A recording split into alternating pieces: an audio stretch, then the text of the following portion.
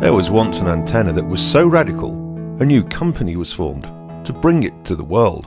Ruckus Wireless had arrived, and we were good, very good. But we could always have done with a little more. With the addition of the ICX switching range, we became Ruckus Networks, and for Ruckus SmartZone controllers, it was a new page.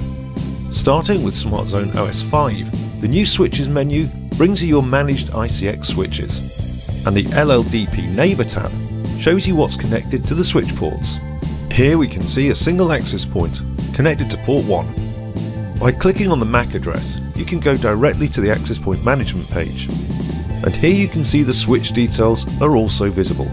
Click on the switch and you're back to the switch page. Client troubleshooting is one of the best loved features of SmartZone OS. Now we've extended it to include switches. You can now see a troubleshooting tab in the switch page. Enter the client MAC address and you will immediately see the access point and switch that the client is connected to. Clicking on the access point takes to the access point page for further investigation.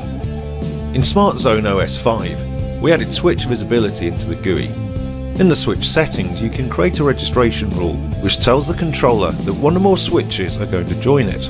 And now, from code 511, you can configure your new factory default switches directly from the SmartZone GUI. Here a VLAN is created to be pushed to the new switch as it registers. First the VLAN details are set, then the target switch model and ports are entered.